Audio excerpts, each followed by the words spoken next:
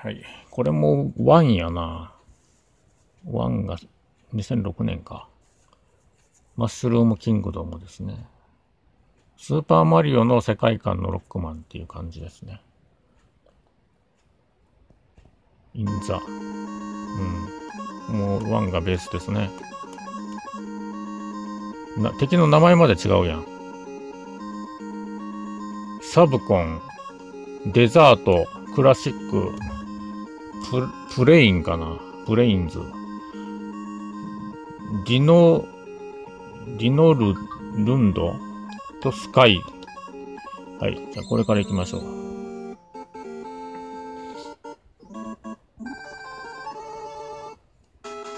音楽は音楽同じですね。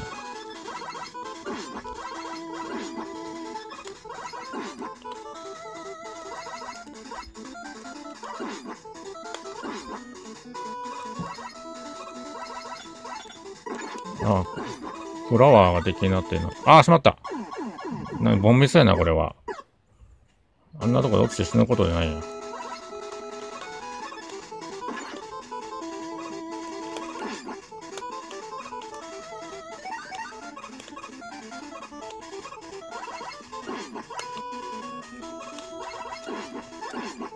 あ、回復取った。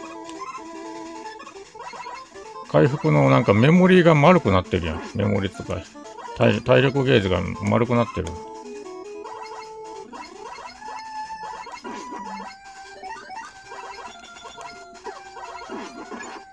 これさっき落ちたよな。あ、雲の上に乗った。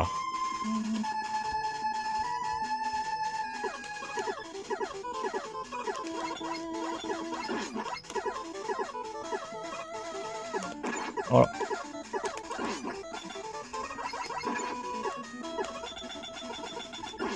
これ通常のロックマンよりちょっとジャンプ力高いですね。スーパーマリオぐらいのジャンプ力になってる。よ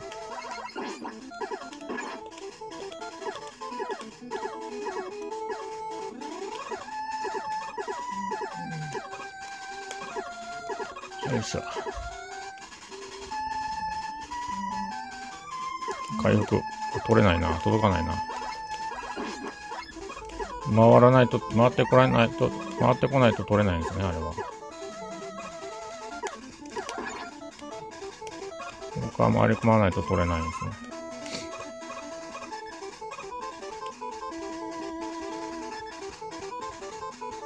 掃除。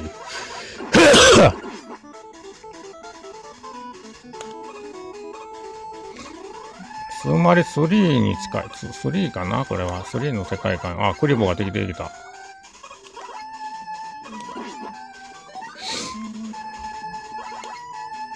あ、また出てきた。急に出てきたな、この掃除。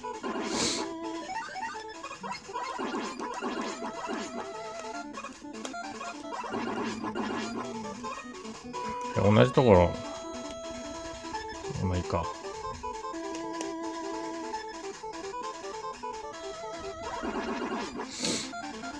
いや、カットマンステージの音楽、神曲ですよね。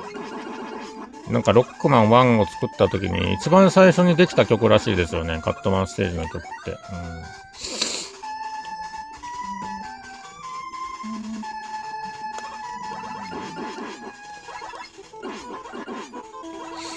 うん、いやもうね、ロックマンのハックロンも全部やりたいぐらいな感じですよね。現存してるも、その存在してるやつをね。本当に。それぐらい好きですよね。ロックマンのハックロームをプレイするの。まあ、未知のロックマンをプレイすること自体がすごく楽しいっていう感じがします。あ、ちょっと待って。あ、これこっちか。こっちから回ればいいんか。うん、やっぱりこれスーパーマリオぐらいのジャンプ力になってますね、このロックマンはね。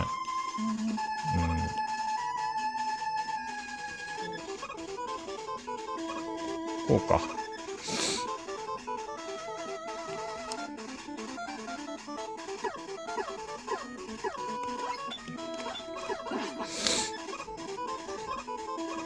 あ、これ、こっちから回らないかなか。こうやって。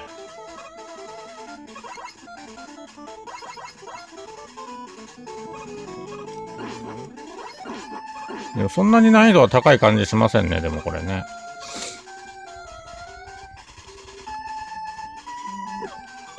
ああ。そっか、これが出てくるの。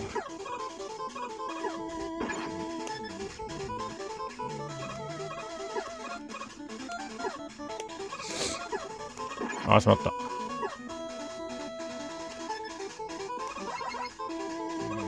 こっち行けないのか。こっちから行くのね。ジャンプ力が高いからなんかそんなにめちゃめちゃむずいって感じもしませんね。ボスまで来ましたね。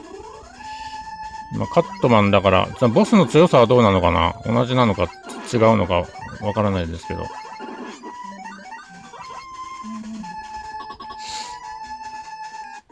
はい、カットマンですね。あ、同じですね。カットマン自体は同じですね。原作と。オリジナルと同じで、強さですね。はい。余裕ですよね。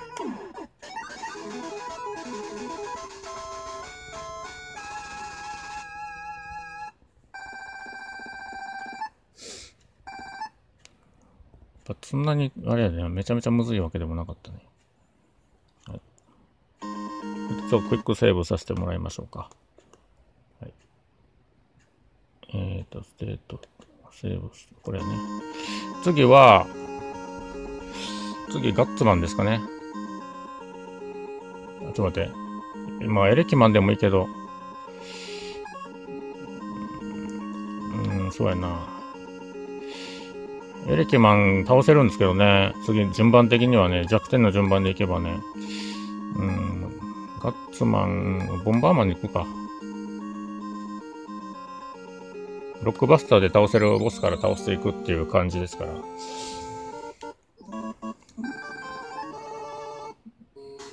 わ、これめっちゃもうスーマリ3やん。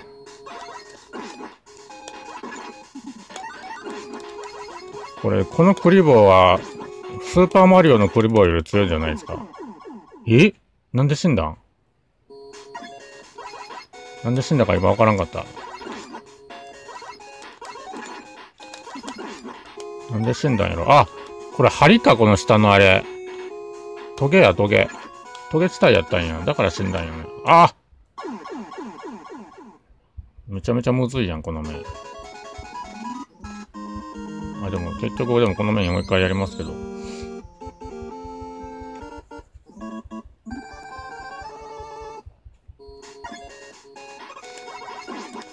これ、こう、こういった方がいいね。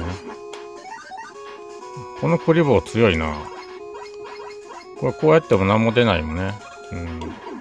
ただ面がスーパーマリオになってるだけで、これもビヨーンってならないし、この音符のブロックもね。危ね。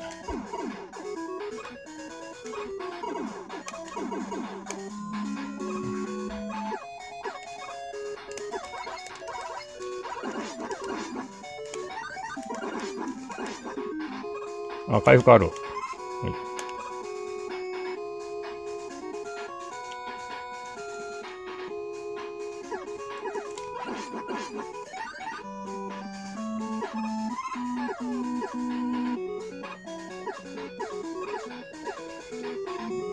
ボンバーマンの音楽もいいっすね。ロックマン1とロックマン2のね、音楽を作った作曲者は同じ人ですからね。あれ、ハンマーブロスがいる。これあれか、スナイパージョーやね、多分。そうやね。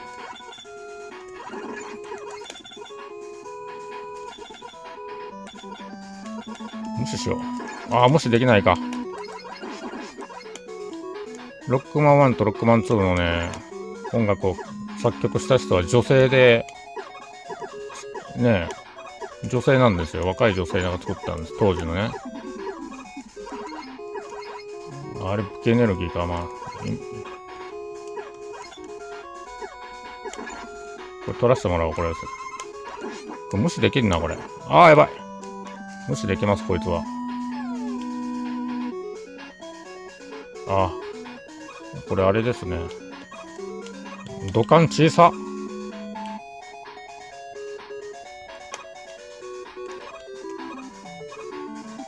ジャンプ力高いのはだいぶ違いますよね。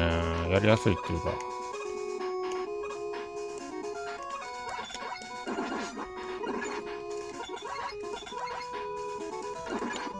強いな、相変わらず。よ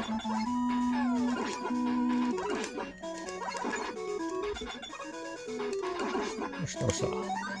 これ、回復ですよね。あ、違うか。1アップがよ。あ、そうか、針やったん、これ、トゲや。親、親帰ってきたかもしれんな。うお、いっぱいできた。これ無視しよう、無視。これ、これ取れないもんな。あ、これこっち、こっち側、じゃ反対もやった道行くの。親帰ってきたかもな。また次回続きって感じですね。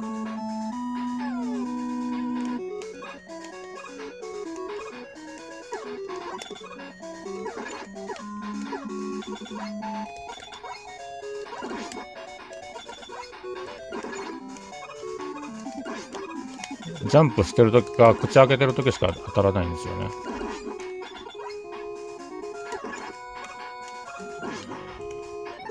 じゃあ終わります。ご視聴ありがとうございました。